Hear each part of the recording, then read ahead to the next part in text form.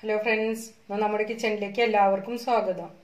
നമ്മൾ ഉണ്ടാക്കുന്നത് ഓണസദ്യയിലെ പൈനാപ്പിൾ പച്ചടിയാണ്. നല്ല മധുരവും നല്ലൊരു ടേസ്റ്റുള്ള കറിയാണ്. അത്ര എളുപ്പത്തിൽ ചെയ്യാൻ പറ്റും. ഇത് ചോറിന്റെ കൂടെ മാത്രമല്ല നമുക്ക് വെറുതെ ഇത് കഴിക്കാൻ പറ്റും. അത്രയും ടേസ്റ്റായി ഒരു മധുരമൊക്കെ ആയിട്ടുള്ള ഒരു ഇത്. ഇതെങ്ങനെയാണ് തയ്യാറാക്കുന്നത് നോക്കാം. ഇതിനായി എഴുന്നൂറ്റമ്പത് ഗ്രാം പൈനാപ്പിളാണ് ഞാൻ എടുത്തിട്ടുള്ളത്. അത് തൊലിയൊക്കെ നന്നായി ചെത്തി കൂണൊക്കെ ചെത്തി ഇതേ വലിപ്പത്തിലാണ് നുറുക്കിയിട്ടുള്ളത്. തൊലി ചെത്തണ സമയത്ത് തൊലി ഒന്ന് താഴ്ത്തി ചെത്തണം. അല്ല ചിങ്ങ ഈ പൈനാപ്പിളിന്റെ മുകളിൽ തൊലി ചെത്തി കഴിഞ്ഞ ഇതുപോലെ ഉണ്ടാവില്ല ഒരു കറുത്ത പുള്ളികൾ. അതിന്റെ നാരായിട്ടുള്ളത് നമ്മൾ ഈ പച്ചടി വെക്കുമ്പോൾ അത് നമുക്ക് ഒരു ടേസ്റ്റിന് ഒരു ബുദ്ധിമുട്ടാണ്. അത് കാരണം കൊണ്ട് അത് നന്നായി തൊലി നന്നായി താഴ്ത്തി ചെത്തുക. ഒരു കപ്പ് തേങ്ങ ചെരുവിയത് രണ്ട് പച്ച പച്ചമുളക് നാലഞ്ച് എതൾ കറിവേപ്പില ഒരു കപ്പ് തൈര്. തൈര് ഇത് അധികം പുളിയില്ലാത്ത തൈരാണ് ഞാൻ എടുത്തിട്ടുള്ളത്. നിങ്ങൾക്ക് പുളി വേണമെച്ചെങ്കിൽ പുളിയുള്ള തൈര് എടുക്കുക. കാൽ ടീസ്പൂൺ ജീരകം കാൽ ടീസ്പൂൺ കടുക്.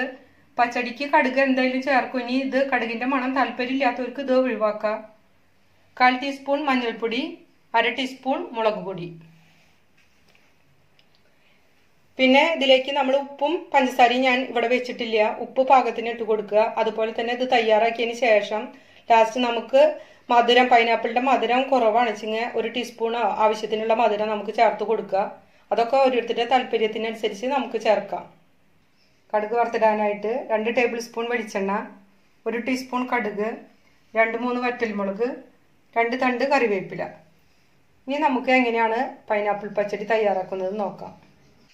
ഒരു പാത്രത്തിലേക്ക് നമുക്ക് പൈനാപ്പിൾ ഇട്ട് കൊടുക്കാം.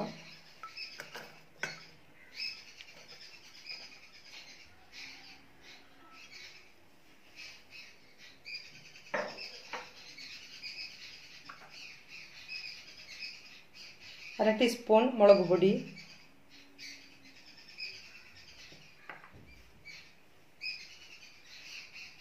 കാൽ ടീസ്പൂൺ മഞ്ഞൾപ്പൊടി.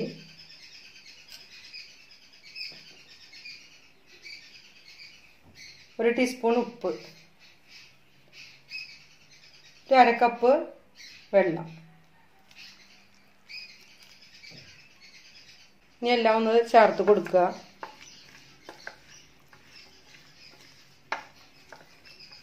അത് ചേർത്ത് കൊടുത്തതിന് ശേഷം നമുക്ക് സ്റ്റൗ ഓൺ ചെയ്ത് സ്റ്റൗവിലേക്ക് വയ്ക്കാം ഇത് തിളയ്ക്കുന്ന വരെ ഫുൾ ഫ്ലെയിമിൽ വയ്ക്കുക തിളച്ചതിന് ശേഷം സിമ്മിൽ വെച്ചിട്ട് വേവിക്കാം സ്റ്റൗ ഓൺ ചെയ്ത് സ്റ്റൗമ്മേ നമ്മൾ പൈനാപ്പിൾ വെച്ചിട്ടുണ്ട്. ഇനി ഇത് നന്നായി തിളയ്ക്കട്ടെ നമുക്കിത് മൂടി വയ്ക്കാം ഇത് തിളയ്ക്കുന്ന സമയം കൊണ്ട് തിളച്ച് വേവണ സമയം കൊണ്ട് നമുക്ക് ഇതിലേക്കുള്ള അരപ്പ് അരച്ചു വരാം. നമ്മൾ അരയ്ക്കാനായിട്ട് എടുത്തു വെച്ച തേങ്ങ രണ്ട് പച്ചമുളക് കറിവേപ്പില അതിലേക്ക് കാൽ ടീസ്പൂൺ ജീരകം കാൽ ടീസ്പൂൺ കടുക്. ഇത് ഒരു കാൽ കപ്പ് വെള്ളം ഒഴിച്ചിട്ട് നല്ല പേസ്റ്റ് പോലെ അരച്ചിട്ട് വരാം നമുക്ക്. ഇപ്പോൾ നമ്മുടെ പൈനാപ്പിൾ വെച്ച് നന്നായി തിളച്ചിട്ടുണ്ട്. ഇനി നമുക്ക് മൂടി ഒന്ന് തുറന്ന് നോക്കാം. വെള്ളം ഉണ്ടോ എന്താന്നുള്ളതൊക്കെ നോക്കാം ഒന്ന്.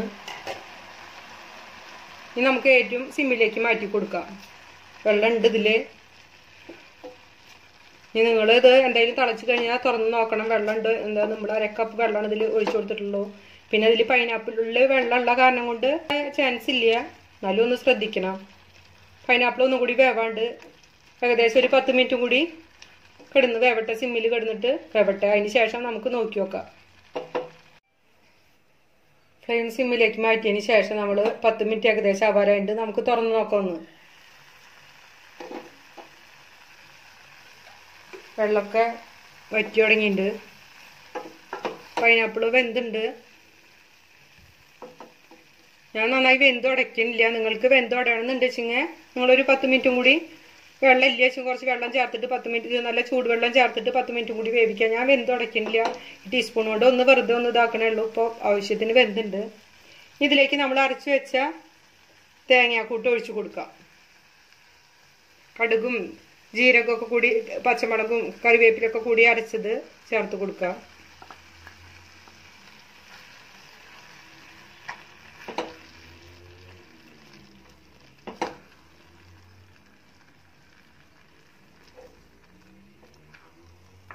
നന്നായി ഇളക്കി കൊടുത്തു ഒന്ന് തിളക്കട്ടെ അത്.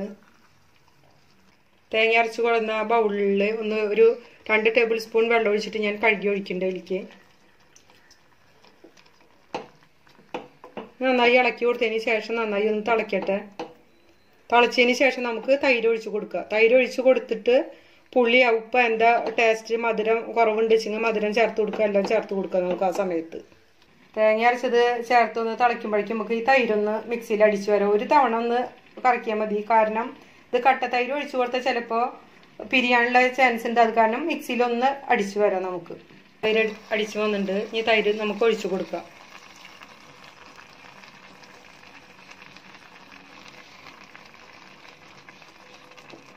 തൈര് ഒഴിച്ചു കൊടുത്തതിന് ശേഷം തിളക്കേണ്ട ആവശ്യമില്ല. ഒന്ന് ചെറുതായിട്ടൊന്ന് ചൂടാക്കിയാൽ മതി. എല്ലാം കൂടി നന്നായി ചേർത്തതിന് ശേഷം ഒന്ന് ചൂടായി നമുക്ക് സ്റ്റവ് ഓഫ് ആക്കാം. പിന്നെ നമുക്ക് വറുത്തിടാനുള്ള കാര്യങ്ങൾ നോക്കാം. ഇതിന്റെ ഇടയിൽ നമുക്ക് ഈ ഇത് മധുരവും ഉപ്പിന്റെ ഒക്കെ ടേസ്റ്റ് ഒന്ന് നോക്കി നോക്കാം. എന്നിട്ട് എന്താ കുറവ് വെച്ചാൽ അത് ചേർത്ത് കൊടുക്കാം. ഞാൻ ഒന്ന് നോക്കട്ടെ ഉപ്പ്. ഉപ്പ് മധുരമൊക്കെ നോക്കട്ടെ. മധുരം കുറച്ച് കുറവുണ്ട്. അതുപോലെ തന്നെ ഉപ്പിന്റെയും കുറച്ച് കുറവുണ്ട്. നമുക്ക് ഒരു കാൽ ടീസ്പൂൺ ഉപ്പ് ചേർത്ത് കൊടുക്കാം. അതുപോലെ തന്നെ ഒരു ടീസ്പൂൺ പഞ്ചസാര. നന്നായി ഒന്ന് ഇളക്കി ചേർത്തതിന് ശേഷം നമുക്ക് സ്റ്റവ് ഓഫ് ആക്കാം. നിങ്ങൾ ഉപ്പും മധുരമൊക്കെ നിങ്ങളുടെ താല്പര്യത്തിനനുസരിച്ച് ചേർക്കുക. മധുരം കൂടുതൽ വേണമെങ്കിൽ കുറച്ചുകൂടി പൈനാപ്പിളിന്റെ മധുരമൊക്കെ കുറവാണെന്ന് നിങ്ങളുടെ ഇഷ്ടത്തിനനുസരിച്ച് മധുരം ചേർക്കുക. നമുക്ക് സ്റ്റവ് ഓഫ് ആക്കാം. കടുക് വറുത്തിടാനായിട്ട് സ്റ്റവ് ഓൺ ചെയ്ത് ചീഞ്ചട്ടി വെച്ചിട്ടുണ്ട്. നന്നായി ചൂടായിട്ടുണ്ട്. ഇതിലേക്ക് നമുക്ക് വെളിച്ചെണ്ണ ഒഴിച്ചു കൊടുക്കാം.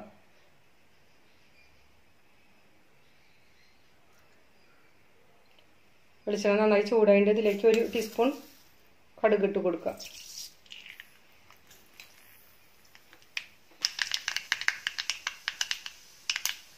കടുകെല്ലാം പൊട്ടിക്കഴിഞ്ഞു. ഇനി വറ്റൽമുളക് ഇട്ട് കൊടുക്കുക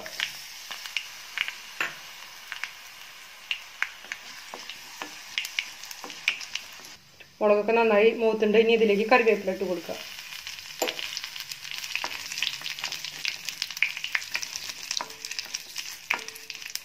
സ്റ്റവ് ഓഫാക്കി ഇത് നമുക്ക് കറിയിലേക്ക് ഒഴിച്ച് കൊടുക്കാം.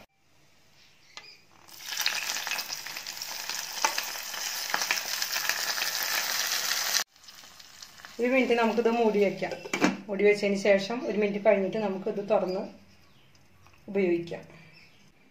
ഇപ്പോൾ നമ്മുടെ പൈനാപ്പിൾ പച്ചടി ഇവിടെ റെഡി ആയിട്ടുണ്ട് ഇത് നിങ്ങളെല്ലാവരും ഇപ്രാവശ്യത്തെ ഓണത്തിന് ട്രൈ ചെയ്ത് നോക്കണം.